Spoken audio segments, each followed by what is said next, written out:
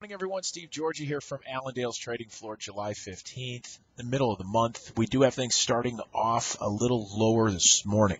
After seeing a little bit of a recovery yesterday, mostly led by wheat, uh, we did see, uh, we were seeing things kind of set back today. Corn down three and a quarter, beans down six, wheat down two and three quarter cents right now. Uh, reasons for that, uh, crop conditions that came out yesterday. 76% good to excellent for corn. That is up 1%. Uh, beans coming in at 72%. That's unchanged from the previous week. And then spring wheat at 70% as well. That's unchanged. So this rain uh, that we're seeing come through uh, the Midwest certainly helping conditions uh, once again or maintaining them. Um, but the weather is still very favorable as we move uh, through these these weather models that they continue to put out. Um, we've got uh, no major stress right now for uh, for corn as we uh, are going through pollination in some areas and move into pollination for some of these other areas as well. Uh, we do have some cooler temps moving through the upper Midwest, uh, but that's really not a uh, not a major concern here as as we're in pollination. So the weather, you still have got to look at this as as more of a bearish tone on the weather, um, and it's probably going to remain that way. So uh, we'll see, but conditions still very very good.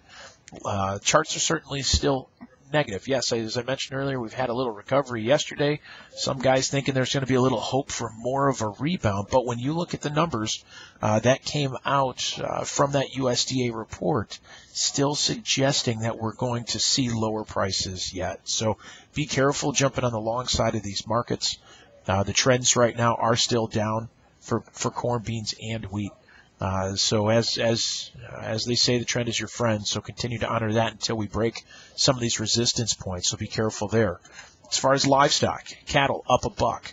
Uh, box beef coming in a little bit lower. Choice down 65. Select down 42. Um, but show list this week coming in a little bit higher. So we could see a little bit of pressure uh, this week as far as cattle if we're going to do what we had done and similar to last week. So watch for cash trades, nothing yet.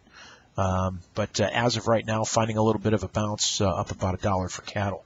Uh, hogs down 30 cents right now, taking a little break after being up yesterday. Um, cutout values down 48 cents, but overall still very strong as far as cash hogs. Uh, and if they're going to remain that way, we've got the August contract that may be a little bit undervalued at this point if we can see the cash market stay strong. So continue watching that. You're going to find a lot of spreaders uh, jumping into this market. Um, so watch that as, as, we go throughout the week. But uh, cash wise, still very strong in the hogs. Probably going to see this strength continue. Uh, something I do want to mention is our Ag Leaders uh, Conference Series. We've got our conference coming up next week, uh, the 22nd through the 24th. Get online, register for that. Uh, we're going to go through weather, grains, and livestock in depth. We're going to go through price projections. What are we looking at here going into the end of the year, uh, as well as some different strategies for you guys uh, as well. So get online, get registered for that. You can do that uh, on allendale-inc.com or you can give us a call. We can help you out with that. 800 262 7538. Uh, so uh, hope you guys have a great day out there. I will uh, be back tomorrow morning. Let you guys know what's going on then. Take care.